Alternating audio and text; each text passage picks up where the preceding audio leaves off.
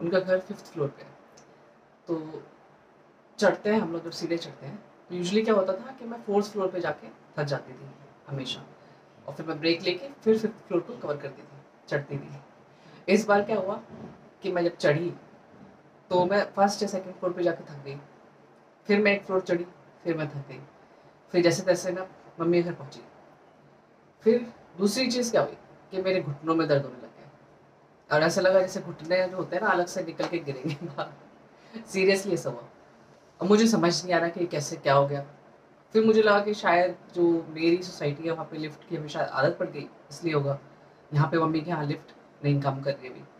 तो लेकिन जब मैंने डीपली सोचा इस बारे में तो आप शॉक रह जाओगे कि इसके पीछे रीजंस क्या थे, किस वजह से ये सब चीज़ें हुई। और ये नहीं, और भी बहुत सारी चीज़ें हैं। तो जो लोग मुझे नहीं जानते, मेरा नाम डॉक्टर गीता सिंह है। मैं एक आयुर्वेदा फिजिशियन हूँ और मैं काफ़ी सालों से जॉब में हूँ। तो कुछ एक्सपीरियंसेस है लाइफ के और कुछ रियलिटी होती है। दवाई, गोली, चीज़ें हेल्थ को जो लेकर चीज़ें मैं उन पर बोलना पसंद करती हूँ। तो इसीलिए चैनल बनाया था। और इसमें सिर्फ़ और सिर्फ़ सच होता है, इस चैनल पे कुछ भी झूठ नहीं है। तो जो लोग चाहते हैं कुछ अच्छा सीखना लाइफ में, वो सिर्फ़ जुड़ सकते हैं। ये उनकी अपनी मर्ज़ी पे है। मैं, मेरा मुझे बहुत जल्दी थकान होने लगी थी। अभी कुछ टाइम से। और मुझे दिन में सोने अच्छा लगता है मतलब मुझे नींद ज़्यादा आती है समझ सकते हो। तो जब सोने को मिलता है, मैं सो जाती हूँ।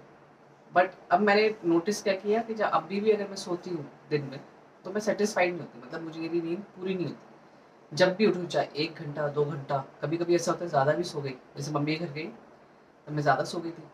तब भी उठ के ऐसा नहीं लगता फ्रेश फीलिंग जो होती है ना, वो फ्रेशनेस फील होती है तो वो भी मिसिंग थी। तो ये दो चीज़ें थी कि जॉइंट पेन शुरू हो गया और ये नींद भी पूरी नहीं हो रही थी किसी भी तरह से। पूरे टाइम स्ट्रेस था। फिर मैंने सोचा कि क्या क्या चीज़ें हैं जो मुझे इफ़ेक्ट कर रही है, मेरी हेल्थ को इफ़ेक्ट कर रही है। फिर सोचा कि जो रूटीन जो मैं खाना पीना है वो भी सेम है। लाइफ भी कोई सेम कोई ऐसी चीज़ नहीं है जो मैंने कोई चीज़ स्टार्ट कर दी हो, उसकी वजह से इफ़ेक्ट हो रहा हो। फिर मैंने जब डीपली सोचा इसके बारे में तो मुझे पता चला कि एक चीज़ है जो कंटिन्यूसली मैं काफ़ी मंथ से इनफैक्ट ऑलमोस्ट ईयर हो जाएगा। बट एक पिछले दो महीने से तो बहुत डीपली सोच रही हूँ। वो थी कुछ प्रॉब्लम्स लाइफ में जो आ रखी हैं। उनके बारे में मैं बहुत ज़्यादा सोचने लगी मतलब बहुत ज़्यादा, होता है ना, पूरे दिन। तो उसके बारे में पूरे दिन सोचती थी। मुझे पता नहीं चलता था कि मैं इतना ज़्यादा इसके बारे में सोचती हूँ या इतना ध्यान देती हूँ उन पर उसकी वजह से आप यकीन मानिए स्ट्रेस की वजह से ये सब चीज़ें मेरी बॉडी में आई। और इसका रियलाइजेशन मुझे जैसे ही हुआ तो मैंने अपना ट्राईपॉड उठाया और फ़ोन उठाया और मैंने सोचा, आपको बताऊँ इससे पहले कि मैं भूल जाऊँ इससे पहले या फिर मुझे लगे कि छोड़ो, सबको पता है शायद। तो मुझे लगा मुझे अपना एक्सपीरियंस बताना चाहिए, क्योंकि यूजली क्या होता है कि हम अपनी बुक्स में पढ़ते हैं, जैसे मैंने भी पढ़े चीज़ें पढ़ी हैं और आर्टिकल्स पढ़ते रहते हैं नॉलेज लेते रहते हैं तो हम सोचते हैं हाँ स्ट्रेस होता है। हाँ उसकी वजह से प्रॉब्लम्स है लाइफ में होती हैं, आती हैं। तो हम उसको उतना स्ट्रेस दे के नहीं सोचते मतलब। हम उसको उतना ज़ोर दे के हम सोच नहीं पाते। हम सोचते हैं इट्स ओके ये तो नॉर्मल चीज़ है, होता रहता है हमारे साथ। तो जब मैंने खुद एक्सपीरियंस किया तो मुझे लगा कि नहीं नहीं, जो हम बहुत लाइटली लेते हैं इस चीज़ को, ये बहुत ज़्यादा डीपली इफ़ेक्ट करती है लाइफ में, बहुत ज़्यादा डीपली इफ़ेक्ट करती है। तो इस पर हमें ध्यान देना ज़रूर ज़रूर ज़रूर चाहिए। आगे मैं आपको बताऊँ, जो मेरा टाइटल है कि स्ट्रेस इज़ द किलर ये बिल्कुल सही टाइटल है। क्योंकि मेरी बॉडी में इतनी जल्दी चेंजेस आ गए। बॉडी से मेरा मतलब बॉडी माइंड सोल तो पता नहीं बट बॉडी और माइंड में तो बहुत जल्दी चेंजेस आ गए। मैं जब उस टॉपिक के बारे में सोचती भी हूँ ना तो मुझे बहुत गहरी नींद आ जाती है। ऐसा लगता है इससे अवॉइड करके आप सो जाओ। बस, और उठोगे तो शायद सब चीज़ें ठीक होंगी लाइफ में। इतना ज़्यादा इम्पैक्ट कई बार मुझे ऐसी नींद आती है कि मुझसे उठा नहीं जाता। लिटरली मेरे बच्चों को बोलना पड़ता कि मैं नहीं उठ सकती। ठीक है? तो ये चेंजेस हुए। पूरी बॉडी में मसल पेंट है मैं कोई पिंच करते ना, इस तरह से अभी भी करूँगी तो आप जो फिट बंदा है, उसकी पिंच करो, उसको दर्द होता है और एक जो स्ट्रेस्ड बंदा होता है, उसकी बॉडी भी चिल्ला रही होती है प्लीज़ बहुत बहुत भर लिया, पूरे ऊपर से नीचे तक स्ट्रेस को, उसको रिलीज़ करो, निकालो उसको। ये चेंजेस हुए। हेयर फॉल हेयर फॉल मेरे को था काफ़ी टाइम से। कम था, कभी ज़्यादा हो जाता है, कभी गायब भी हो जाता है। लेकिन अब स्ट्रेस की वजह से फिर वो हेयर फॉल दोबारा से शुरू और भूख, आपको पता है भूख इफ़ेक्ट होती है स्ट्रेस से। तो भूख में भी अंतर आ जाता है, कभी तो आपको बहुत ज़्यादा भूख लगेगी, कभी आपको बिल्कुल भी भूख नहीं लगेगी। बहुत जल्दी। जैसे मैं स्क्रीन देखती हूँ तो थक जाती हैं बुक्स पढ़ती हूँ। बुक्स पढ़ के मेरी आँखें थकती नहीं है, लेकिन मुझे फिर नींद आ जाती है। लेकिन स्क्रीन देख के वैसे तो आँखों में जलन हो रही है। तो बहुत सारी चीज़ें चेंज हुई मतलब छोटे छोटे लेवल पे जो चेंजेस है ना, वो इतने ज़्यादा होते हैं कि आप जब आप सोचोगे, जब आपको होश आएगा ना कि हाँ ये क्यों हो रहा है, तब तक शायद कुछ देर हो जाती है। क्योंकि आपकी बॉडी जो है, वो स्ट्रेस को अभी नहीं झेल रही बहुत टाइम से झेल रही होती है। रिज़ल्ट हमें अब दिखते हैं। हमें ऐसा लगता है कि अचानक से क्या हुआ? तो वो अचानक से नहीं होता। पहले से एक्यूमुलेटेड होता है और फिर जब वो निकलता है तो आप उसको संभाल नहीं पाते। आप सर दर्द संभालो बॉडी पेन संभालो जॉइंट पेन क्या क्या आप संभालोगे? आप सोचो ज़रा क्या क्या आप संभालोगे? तो और आपके फेस में भी चेंजेस आते हैं। जब आपको मेरा फेस दिख रहा है, मैं पहले की फ़ोटो भी हो सका तो दिखाऊँगी। बट फेस में भी बहुत सारे चेंजेस आ जाते हैं। तो मैं ये बोलना चाहती थी कि स्ट्रेस को बिल्कुल भी लाइटली मत लो। अगर आप किसी भी स्ट्रेस्ड सिचुएशन से जा रहे हो, उसको मैं बहुत अच्छे से समझ सकती हूँ। क्योंकि मैंने ये एक्सपीरियंस किया। हर छोटे छोटे लेवल पे मैंने एक्सपीरियंस किया।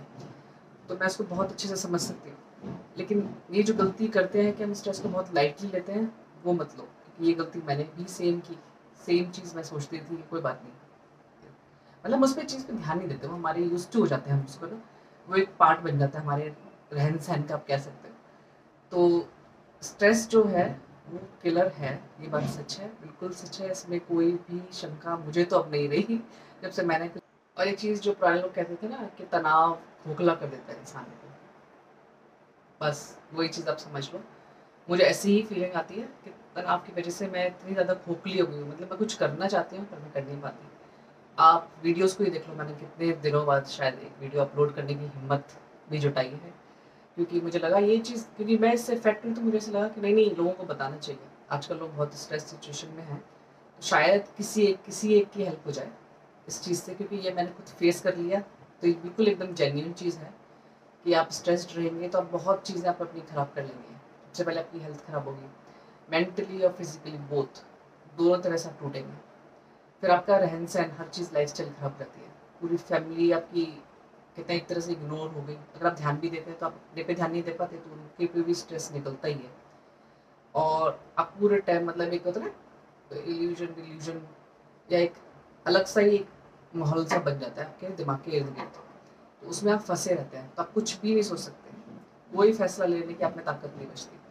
आप कुछ भी सोचते हैं, पर कर नहीं पाएँगे। ऐसा मेरे साथ हुआ है। कुछ भी सोचने का, सोचते हैं तो आप स्ट्रांगली उस पर खड़े ही नहीं हो सकते, क्योंकि आप इतने स्ट्रेस्ड होते हैं। ऐसा लगता है कोई चीज़ कोई भार है आपके सर पे, जो आपको रोकता है, मना करता है कि नहीं, ये चीज़ नहीं।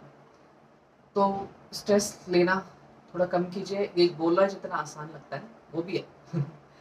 कि स्ट्रेस बोलना लगता है कि बहुत ईजी है, कि स्ट्रेस मत लो, बहुत अच्छी हैप्पी लाइफ जियो बट उतना ही ये मुश्किल है, ये तो मैं मानती हूँ।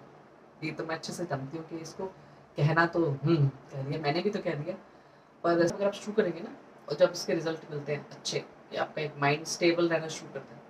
स्टेबिलिटी बहुत ज़रूरी है माइंड की स्टेबिलिटी मुझे लगता है। कि अगर आपका माइंड सही काम कर रहा है ना, दिमाग सही काम करता है तो आपका शरीर बहुत अच्छे से काम करेगा। लेकिन अगर आपका दिमाग पजल्ड है, पूरे टाइम बस समझ ही नहीं आता, कुछ कन्फ्यूज़न है मतलब पूरे टाइम भड़बड़ बड़बड़ तो आप कुछ नहीं कर सकते। तो इसलिए मेडिटेशन आप कर सकते हैं, अनुलोम विलोम ध्यान कर सकते हैं, प्राणायाम कर सकते हैं, और साथ ही साथ जो अच्छी बुक लगती है, आप वो पढ़ सकते हैं। ऐसा नहीं है कि आपको अच्छी मतलब नॉलेज वाली या वैसी ही बुक पढ़नी है। अगर आपको स्टार्टिंग में आदत ही नहीं है बुक पढ़ने की तो ज़रूरी नहीं आपको बुक पढ़ना पसंद हो। बैठना ही पसंद नहीं है। तो जो भी बुक अच्छी लगती है, सब स्टार्ट कर सकते हैं और बुक पढ़ सकते हैं।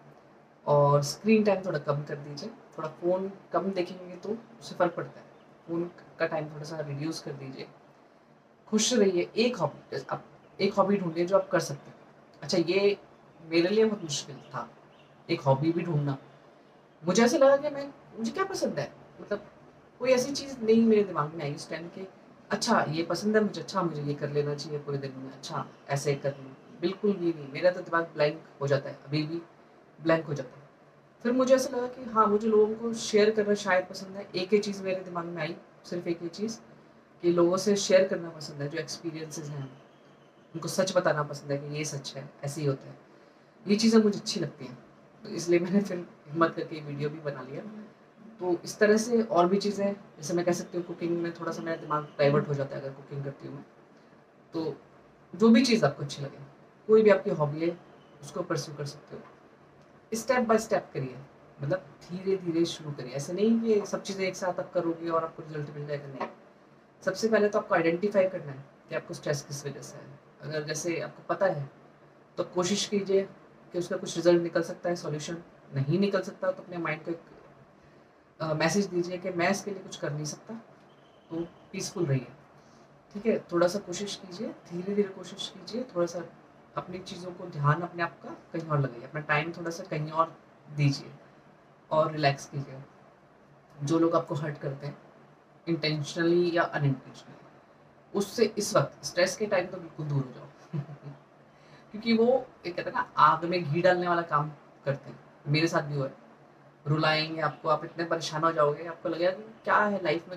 मतलब कोई डायरेक्शन नहीं दिखता, कुछ नहीं दिखता ब्लैंक ब्लैंक लगता है। तो ऐसे लोगों से इस टाइम पे दूर हो जाओ, चाहे वो बुरा माने अच्छा माने मेंटली दूर हो जाओ। फिजिकली आप नहीं दूर हो सकते, साथ में रहना। तो थोड़ा सा जैसे ही कुछ बोलें, जो आपको पसंद नहीं है इग्नोर इग्नोर कैसे करते हैं कि आप एक आपने सुना हो माइंडफुलनेस कभी सुना हो तो पर ध्यान किसी और चीज़ पे रखिए। आसपास कोई भी चीज़ है ना, उस पर ध्यान रखिए। वो बंदा कुछ कोई इंसान कुछ कह रहा है तो आप हम्म हम्म हाँ हाँ बस। ये थोड़ी सी प्रैक्टिस से आता है।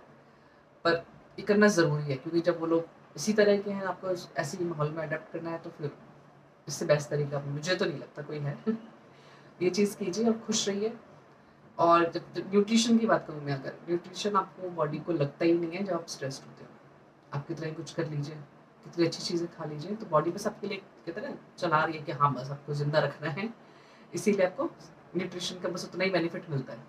लेकिन आप सच में चाहते हो कि न्यूट्रिशन का बेनिफिट आपको पूरा मिले, आप अच्छी एक हेल्दी लाइफ जिए एनर्जेटिक रहे पूरे टाइम खुश रहें। खुश एक बहुत छोटा वर्ड है, पर लेकिन उसको रखने के लिए, खुश रहने के लिए आपको बहुत चीज़ें करनी पड़ती हैं बैलेंस लाइफ में।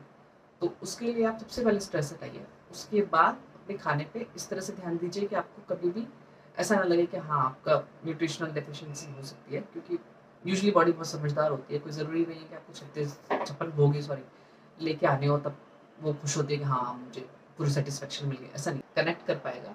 लेकिन ये मेरा एक्सपीरियंस था, आप कमेंट सेक्शन में अपने भी कुछ पॉइंट्स बोल सकते हैं, जो भी आप चाहते हैं। और जो भी चीज़ लिखना चाहते हैं, आप लिख सकते हैं कमेंट सेक्शन में, मैं रिप्लाई करने की कोशिश करूँगी इफ़ेक्ट करूँगी। और खुश रहिए, खुश रहना बहुत ज़रूरी है, बहुत ज़्यादा ज़रूरी है। खुश को, खुशी को आप तब पहचानते हो या इसकी वैल्यू तब करते हो जब आप इसे खोते हो? जैसे मैंने कहा, मुझे लगता था कि मैं बहुत फिट हूँ, मेरे जॉइंट्स वगैरह परफेक्ट हैं, मैं मतलब घमंड नहीं, लेकिन मुझे ऐसा लगता था कि भगवान ने मुझे ब्लेसिंग दी है ब्लेस्ड बॉडी है। इसमें कुछ टचवुड सही है, हर चीज़ सही है, लेकिन जब ये सब चीज़ें एक साथ हुई, आप ये भी देखो कि इसमें ऐसा नहीं है कि कोई चीज़ आगे पीछे, एक साथ। पैरों में एक साथ एक दर्द हुआ, फिर जोड़ों में एकदम से ऐसा लगा, गए घुटने इधर उधर खिसक गए, और खटाक खटाक आवाज़ घुटनों में भी हुई, और शरीर भी एकदम टूटना बस बिल्कुल मुझे उठाओ मत, मुझसे कुछ काम कराओ मत। और मैं कुछ करती भी नहीं थी। मम्मी घर तो कुछ करते क्या है, आपको पता है। कुछ करती भी नहीं थी, फिर भी ऐसा लगता था कि क्यों? हर चीज़ एक साथ हुई, जैसे आपके सर पे ना एकदम से कोई चीज़ आफत आ जाए और आप कैसे उठोगे? तो उसके लिए आपको प्रिपेयर तो पहले से होना पड़ेगा ना। तो आप अभी से प्रिपेयर खुश रहिए, ताकि कोई भी चीज़ें आपकी लाइफ में आती हैं फ्यूचर में। मैं विश करूँगी कि आए ना, कोई भी प्रॉब्लम आपकी लाइफ में। बट अनएक्सपेक्टेडली कोई भी चीज़ आती है तो आप उसको झेल पाओ। और आराम से निकल जाओ स्मूथली और ईश्वर है, उनका ध्यान कीजिए और खुश रहिए। Thank you so much for watching मुझे बहुत अच्छा लग रहा है आप लोगों से शेयर करके। आप अपने फीडबैक ज़रूर देना। इस कमेंट सेक्शन में कमेंट ज़रूर करना ताकि मुझे एक आइडिया हो कि आप लोगों को कुछ समझ में आया या आप रिलेट कर पाए या नहीं। Thank you so much guys and keep smiling smile